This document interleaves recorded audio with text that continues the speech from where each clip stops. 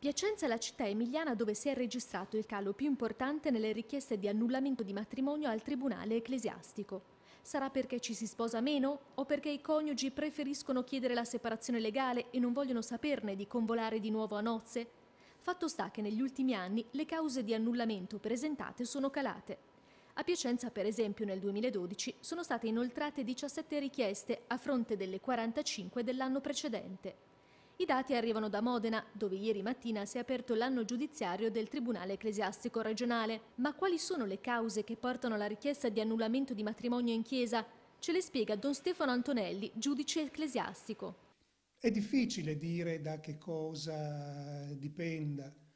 Probabilmente varie cause. Secondo me la più, eh, la più rilevante di queste è la non conoscenza, il non sapere che il proprio matrimonio può essere eh, non valido, cioè contratto con o un'incapacità al consenso oppure con una riserva, per esempio sulla prole. Una delle conseguenze di questa cultura dominante in cui viviamo è anche eh, il fatto che non si riesca più a vivere l'amore come le intende la Chiesa. E se uno non è capace di amare, di amare l'altro, allora non riesce a vivere la realtà del, del matrimonio. Se da una parte calano le cause di annullamento, dall'altra aumentano le richieste di separazione in tribunale, i valori della famiglia e del matrimonio sembrano essere sempre più in crisi. Eh, il matrimonio evidentemente purtroppo è, dico purtroppo, eh, è un istituto in crisi e questo è evidente e lo vediamo anche dal fatto che le procedure di separazione e di divorzio sono invece tantissime.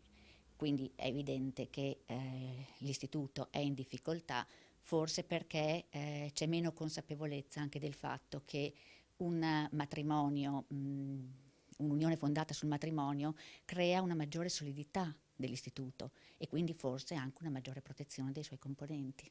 Purtroppo la crisi della famiglia, lo sappiamo, è effettivamente molto importante e quindi forse bisognerebbe davvero cercare di valutare percorsi possibili per evitare di arrivare alla frattura familiare, quindi attraverso l'istituto della mediazione, attraverso varie strade, tutte le strade possibili, tutti i modi possibili per effettuare un percorso di confronto, per cercare di superare ciò che allontana, cercare di ritrovare ciò che ha unito.